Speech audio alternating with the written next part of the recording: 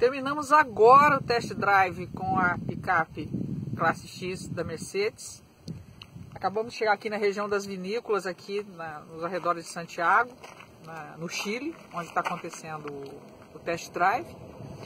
E a impressão, como eu já disse anteriormente, é a melhor possível, complementando duas informações. A picape classe X é a primeira com freio a disco nas quatro rodas. As demais têm freio a tambor.